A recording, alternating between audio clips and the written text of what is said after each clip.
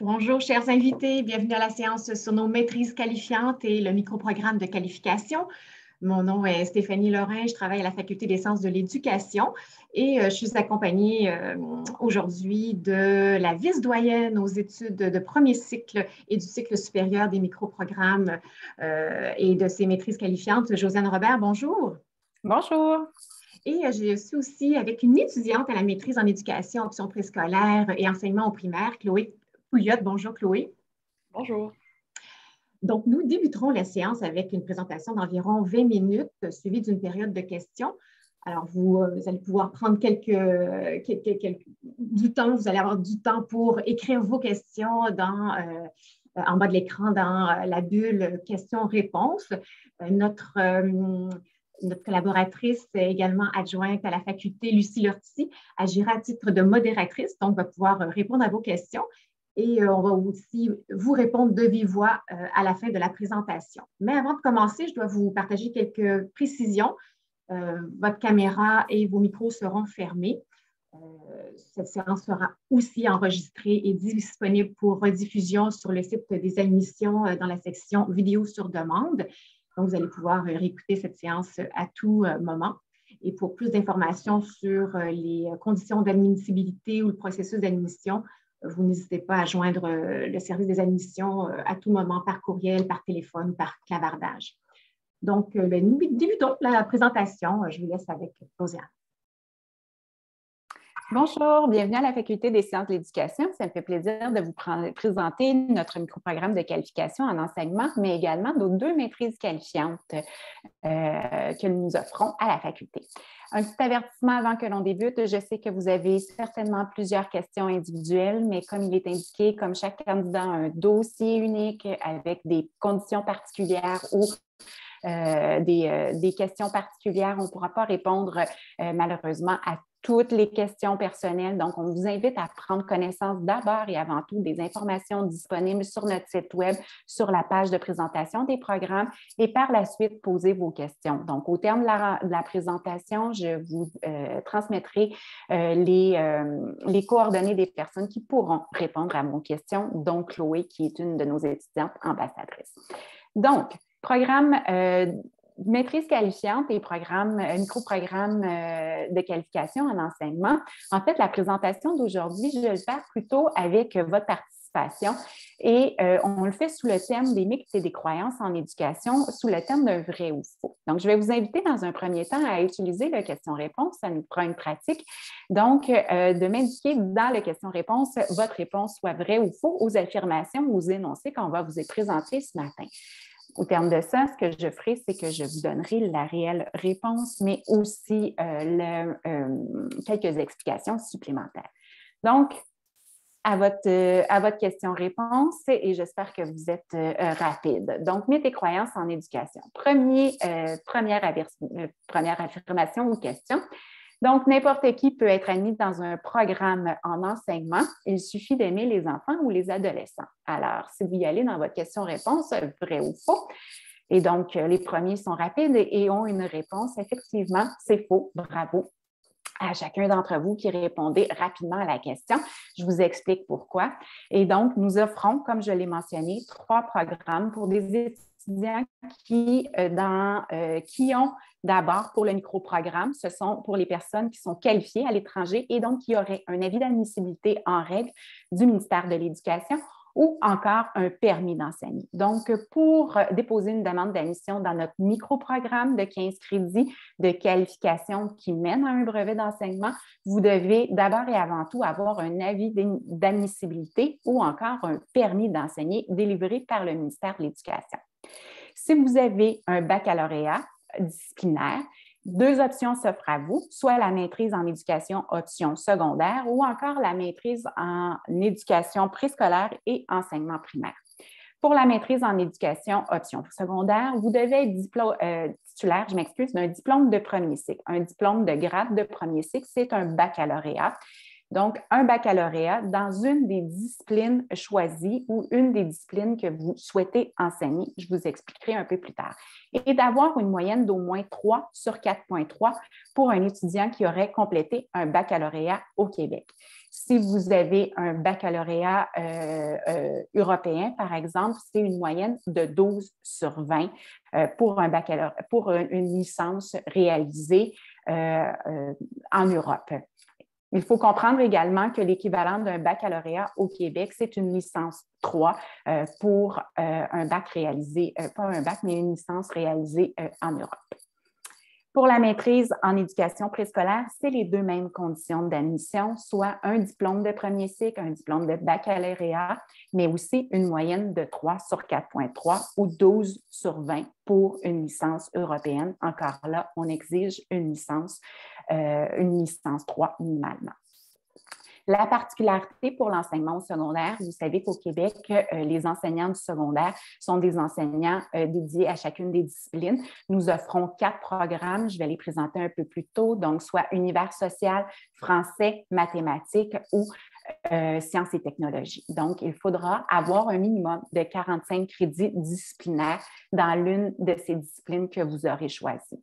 Donc, soit en français, en mathématiques, en sciences et technologies et ou, euh, en, pas et ou, mais ou en euh, univers social.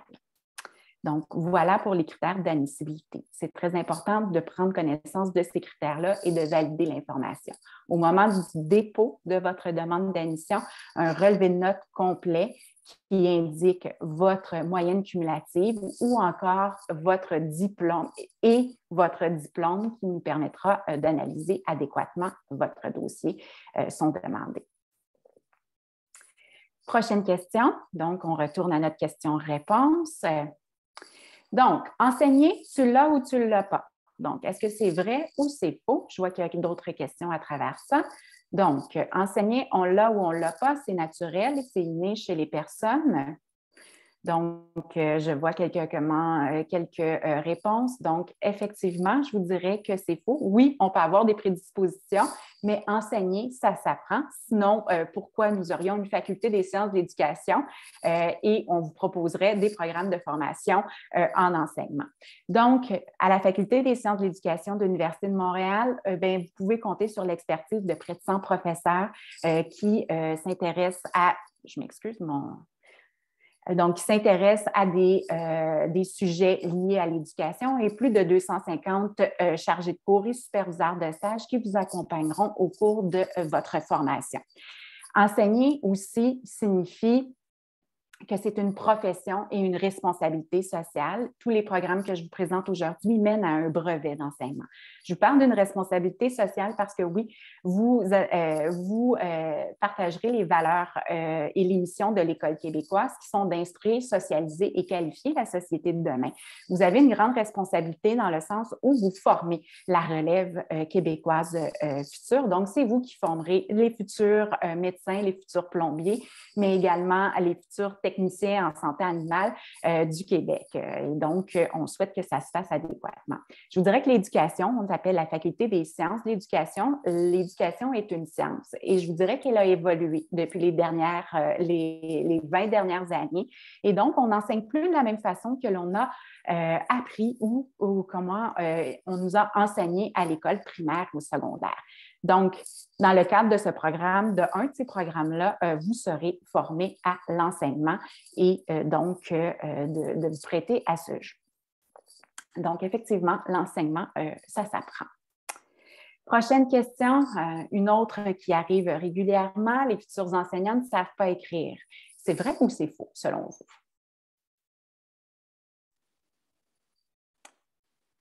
Donc, euh, j'ai quelques étudiants qui me répondent, c'est faux, c'est faux. Et je vous dirais qu'effectivement, c'est faux.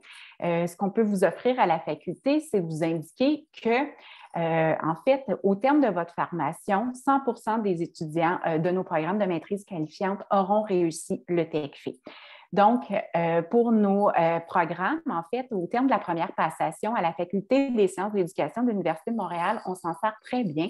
nos étudiants s'en sortent très bien, c'est-à-dire qu'au terme de la première passation, plus de 62% des étudiants la réussissent et au terme de la deuxième passation, plus de 85% de nos étudiants la réussissent. Comment on arrive à offrir ou à avoir ces taux de réussite si élevés? En fait, c'est qu'à la faculté, on a développé beaucoup d'outils qui vous permettent de vous soutenir dans la réussite de ce test-là, mais aussi d'améliorer vos compétences en lecture, je m'excuse pas en lecture, en écriture, mais aussi vos compétences en français oral. Donc, lors de votre admission, après votre admission, une fois que vous aurez reçu votre votre offre d'admission, vous serez invité à passer un test de classement obligatoire qui est le TFLM. Le, TFLM est un test de classement qui vous permettra euh, de vous diriger vers un cours de mise à niveau, un cours de notion de français pour euh, futurs enseignants, le 2009, qui est un cours hors programme, ou encore de vous euh, diriger vers un deuxième cours de français, un cours de 10, un cours, le cours 10-10-10, ou encore de vous être libéré de ces deux cours-là. Il y aura également un centre d'aide en français euh, qui peut vous soutenir dans la rédaction, euh, dans vos compétences en rédaction, mais aussi en français oral. Et il y a la possibilité également de tutorat. Donc, il y a aussi une coordonnatrice des mesures de français qui est très active et toute une équipe de chargés de cours euh, qui travaille à développer vos compétences en français. Donc, je pourrais vous dire que vous êtes très bien accompagné par la faculté à l'égard de la réussite de votre TECFI les étudiants du microprogramme également, euh, vous vous êtes invités euh, à participer euh, au centre d'aide en français, au tutorat également, ou rencontrer notre coordonnatrice si vous avez des besoins à ce niveau. Le test de classement ne vous concerne pas, ainsi que les cours de français obligatoires ou de mise à. Prochaine question. Je m'excuse. Étudier en, en enseignement que de la théorie, selon vous, c'est vrai ou c'est faux?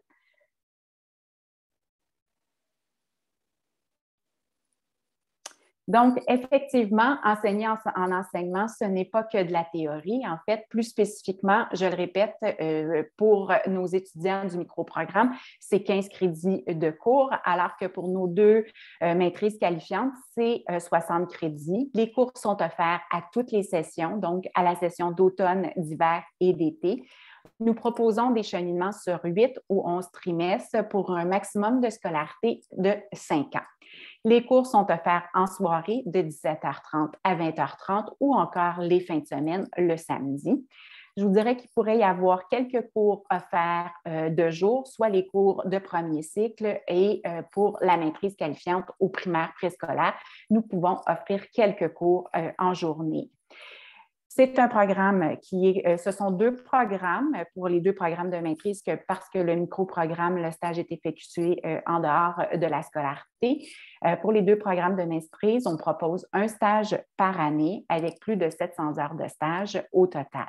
On vous offre également des tâches professionnelles et du micro-enseignement, c'est-à-dire que vous pratiquerez avec vos pairs euh, vos euh, pratiques pédagogiques, mais aussi euh, vos pratiques didactiques.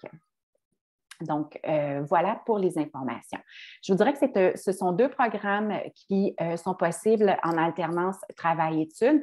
Cependant, l'expérience nous mentionne que ce sont des programmes de maîtrise, donc des programmes exigeants qui exigent participation, mais aussi réflexion, analyse et donc des habiletés de deuxième cycle, d'où euh, que l'on demande une moyenne de trois euh, parce que euh, c'est exigeant et il y a tout de même des travaux à réaliser. Donc, certains sont capables de le faire en travaillant à temps plein, alors que d'autres demandent plus de temps pour la complétion de leurs travaux et autres, et études. La même chose qu'on parle que c'est un programme qui est offert à temps partiel, ce qui signifie pas seulement un cours par session, mais plutôt deux ou trois cours par session. Donc, il faut être capable de suivre le rythme à cet égard. Prochaine question. Euh, en fait, vous n'avez pas besoin de répondre sur le vrai ou faux. Je vous donne la réponse gratuite. Donc, enseigner une formation unique et non. En fait, nous avons des programmes distincts et donc, vous serez euh, regroupés avec des collègues qui euh, sont dans la même situation que vous, soit le micro-programme. Vous serez tous des enseignants formés à l'étranger et qui se regrouperont, se retrouveront dans le cadre du micro-programme de qualification. Cette façon de faire vous permet de, créer un réseau ou plutôt euh, d'être accompagné en fonction des, euh, des défis, mais également des forces de ces étudiants-là. On offre aussi deux maîtrises en éducation, une en option éducation préscolaire et enseignement primaire. Et donc, vous serez, euh, vos collègues seront dans la même situation que vous. Certains auront de l'expérience en enseignement comme enseignants non légalement qualifiés, alors que d'autres non. Certains prendront de l'expérience pendant au du programme euh, et d'autres le feront au terme de leur formation. Nous offrons, comme je l'ai mentionné, euh, un programme aussi de maîtrise en éducation en enseignement au secondaire et euh, nous avons quatre disciplines, soit le français, les mathématiques, les sciences et technologies qui incluent la biologie, la chimie, la physique et les technologies, ainsi que l'univers social qui comporte géographie et histoire. Pour les deux dernières disciplines, sciences et technologies et univers social, nous offrons les cours ou les, le programme en collaboration avec la Faculté des arts et sciences. Et donc, vous serez appelé à euh, vous rendre sur le campus, le nouveau campus 1000, le campus des sciences de l'université. Pour toute question en lien avec les programmes, je vous invite à consulter d'abord et avant tout la page des programmes. Donc, euh, si vous vous rendez sur la page de la Faculté des, des sciences de l'éducation, vous allez cliquer sur l'onglet cycle supérieur pour les deux maîtrises qualifiantes et euh, ou euh, euh, l'onglet personnel enseignant qualifié hors Québec pour avoir accès aux informations du microprogramme. Plus spécifiquement, je vous montre la page, donc microprogramme de qualification à l'enseignement. L'information que je vous ai mentionnée est ici. Donc, vous devez avoir un avis d'admissibilité ou un permis d'enseigner du ministère de l'Éducation pour pouvoir déposer une demande d'admission dans ce programme, dans le microprogramme en enseignement. C'est une formation de 15 crédits. Les cours sont déjà euh, prédéterminés. Il y a aussi euh, une admission possible aux trois sessions, c'est-à-dire à la session d'automne, à la session d'hiver et à la session d'été. Donc, si vous voulez plus d'informations, je vous invite à aller cliquer sur les, les pastilles, euh, explorer le programme, consulter le cheminement pour avoir une vue d'ensemble du, du programme, mais aussi le guide étudiant. Dans euh, la discussion, euh, nous avons également mis les liens pour euh, pouvoir les consulter plus facilement les différentes pages pour le microprogramme et les maîtrises qualifiantes. Donc, il y a aussi un responsable de programme, je m'excuse, pour le microprogramme qui est Alejandro González Martin. Donc, euh, c'est le responsable de programme. Et si vous avez des questions en lien avec le microprogramme, vous pouvez communiquer avec la TGDE, soit la technicienne en gestion des dossiers étudiants, Madame Louise Talbot. Et donc, vous avez son courriel à l'écran. Et il est aussi disponible sur le site euh, et sur la page du programme, du microprogramme de qualification en enseignement. Prochain programme, maîtrise en éducation option secondaire, c'est la même chose. Vous allez euh, vous, diriger vers le site de la Faculté des sciences de l'éducation de l'Université de Montréal vous, euh, cliquez sur le menu déroulant cycle supérieur et vous allez voir la maîtrise en éducation option au secondaire. Encore ici, il y a une pastille pour explorer le programme et donc c'est dans cette pastille que vous pourrez voir les critères d'admissibilité, les documents nécessaires au dépôt de votre demande d'admission, mais aussi le cheminement et l'offre de cours. Vous pouvez également consulter le guide étudiant. Il y a un onglet pour l'équivalence de cours et une courte présentation du programme. C'est toujours Alejandro Martin, euh, González Martin qui est le responsable du programme et vous pouvez euh, poser vos questions à Madame Louise Talbot par courriel également. Pour la maîtrise ou euh, en éducation préscolaire et enseignement primaire, c'est également la même chose. L'onglet cycle supérieur, il y a l'information pour la maîtrise qualifiante. Je vous dirais que pour la maîtrise en éducation, euh, option euh, éducation préscolaire et enseignement euh, primaire, je vous invite à consulter la foire aux questions. Donc, de nombreuses réponses s'y trouveront, mais aussi d'explorer le programme en cliquant sur la pastille qui vous mènera également à la fiche programme et vous présentera les conditions d'admissibilité de ce programme. À noter que pour les deux programmes de maîtrise, on vous demande une lettre d'intention. Une particularité de la maîtrise en éducation préscolaire et enseignement euh, primaire, c'est que la lettre d'intention à compléter est disponible. C'est un document que vous devez compléter, d'abord télécharger et ensuite euh, enregistrer, compléter et enregistrer et déposer au moment de votre euh, demande d'admission.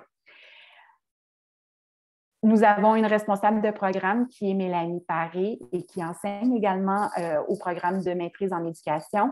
Nous avons la TGDE, Anne-Marie Tourangeau, donc, euh, vous pouvez communiquer avec elle pour toute question. Et nous avons aussi euh, Chloé Pouliot, qui est notre étudiante ambassadrice que euh, vous aurez la chance d'entendre un peu plus tard au terme de ma présentation. Donc, vous avez également les coordonnées de ces différentes personnes qui pourront répondre à l'ensemble de vos questions.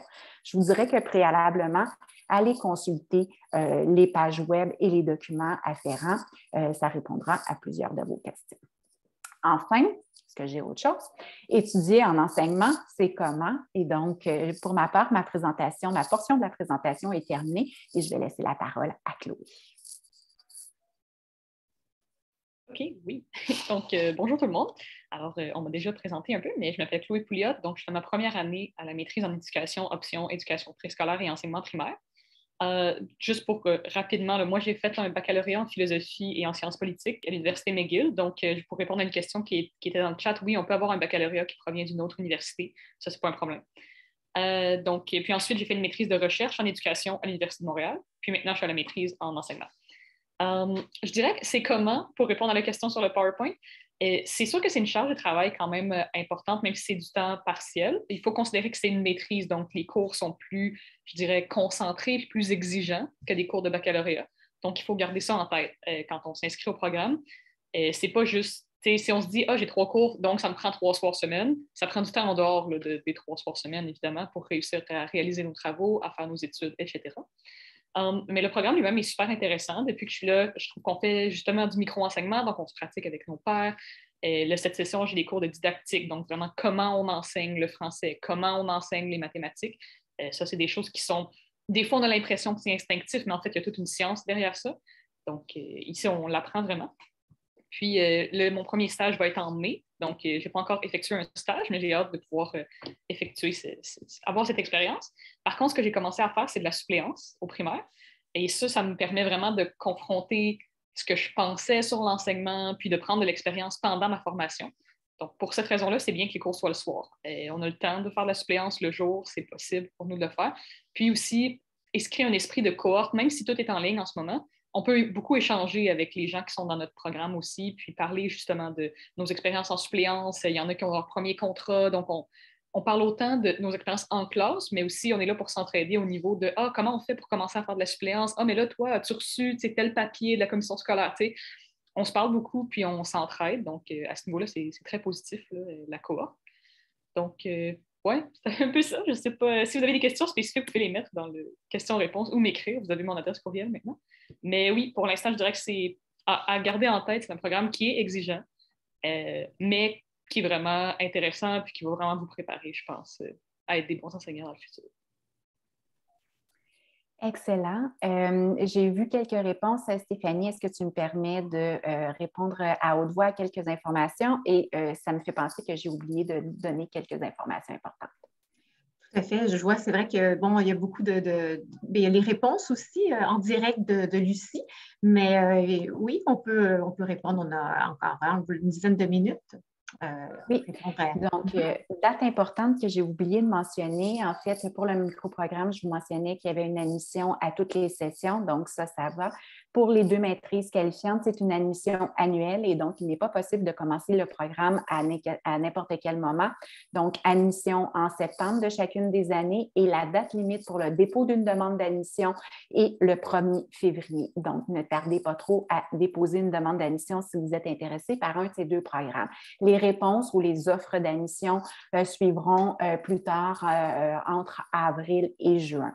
Et donc, vous, pouvez vous attendre à recevoir une, réponse entre avril et juin. Je vous dirais que c'est un programme, les deux programmes de maîtrise qualifiante sont deux programmes qui sont offerts à temps partiel et donc pour les étudiants internationaux, ça peut poser quelques défis. Il faut penser également qu'il pourrait y avoir des cours hors programme ou complémentaires à compléter, à réussir.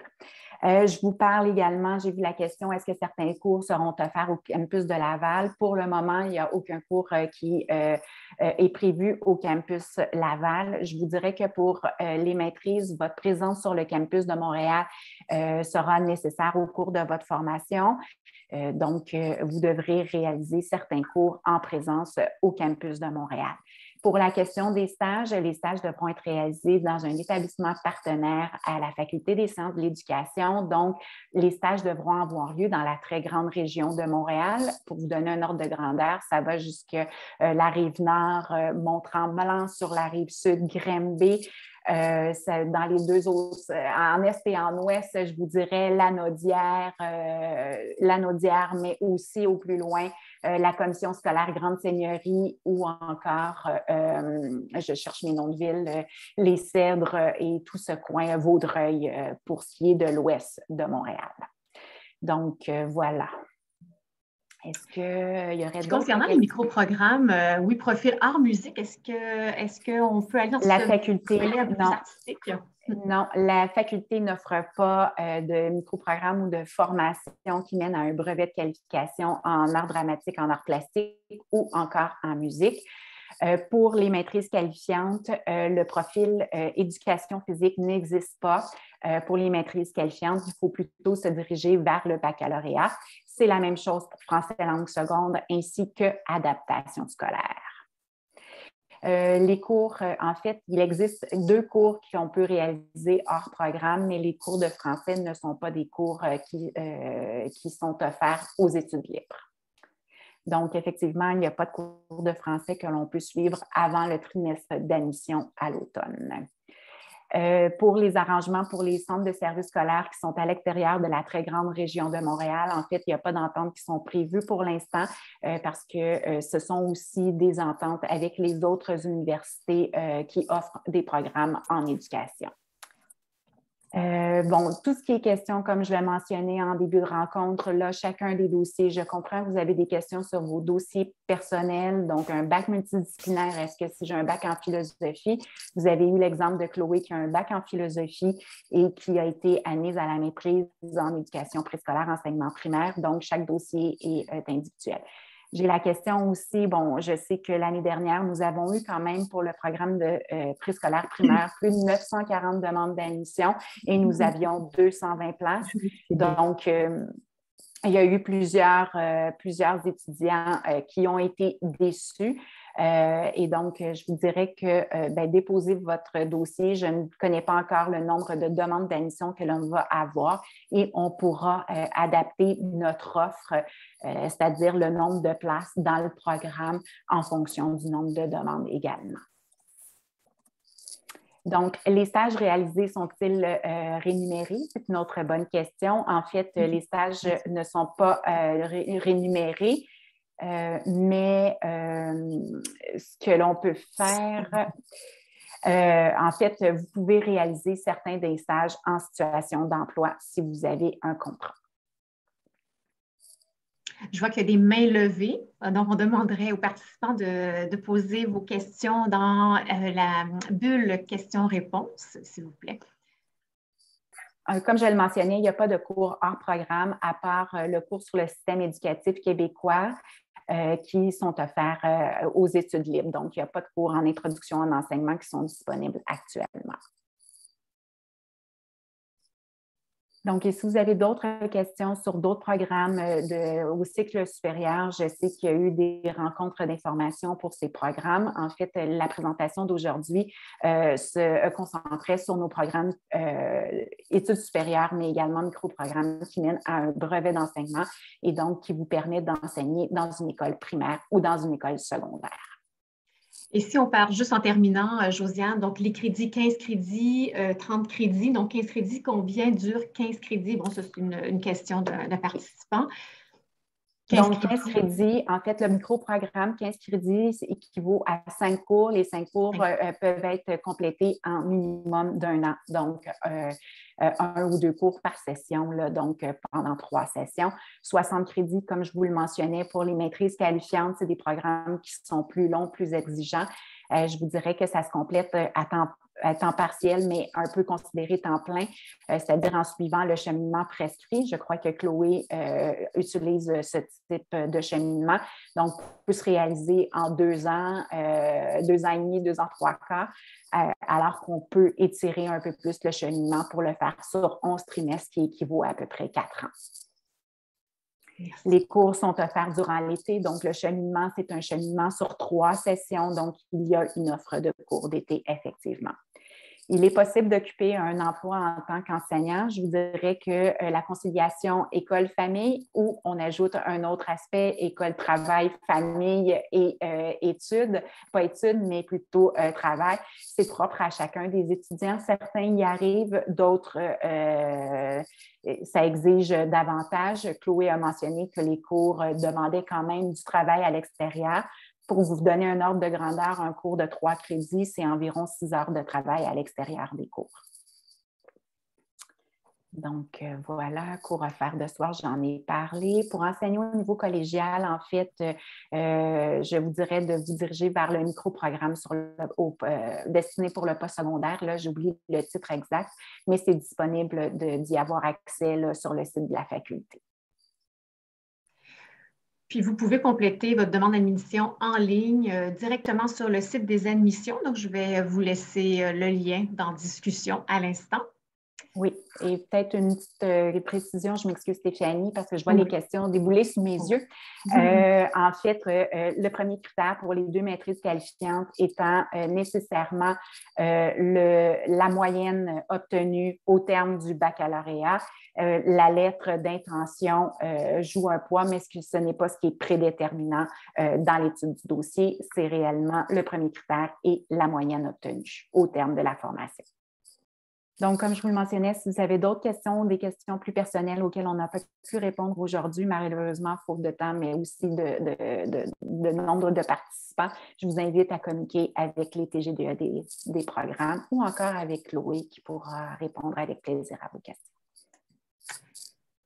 Parfait, merci. Donc, euh, est-ce qu'on termine à l'instant? Il n'y a pas d'autres? Euh, oui, et 10h34. Donc, moi, je voudrais remercier, merci, euh, merci à toi, euh, à, toi, Josiane, à Chloé également, notre ambassadrice, étudiante ambassadrice, euh, pour ce beau témoignage, Chloé. Donc, encore une fois, merci, merci aux participants. C'est ce qui conclut notre séance d'aujourd'hui. N'oubliez pas, si vous avez des questions, vous allez directement sur le site des admissions. donc, si vous avez des questions sur le micro-programme de qualification en enseignement, on répète le nom de la TGDE Louise Talbot, louise.talbot à umontréal.ca. Et, et, sur la maîtrise en éducation, option éducation préscolaire primaire, euh, notre étudiante Chloé euh, Pouliot, chloé.poulotte.1 à umontréal.ca. Visitez notre site euh, web fse.umontréal.ca et cette présentation sera disponible sur la page vidéo sur demande du site de l'admission. Merci à toute l'équipe et à bientôt.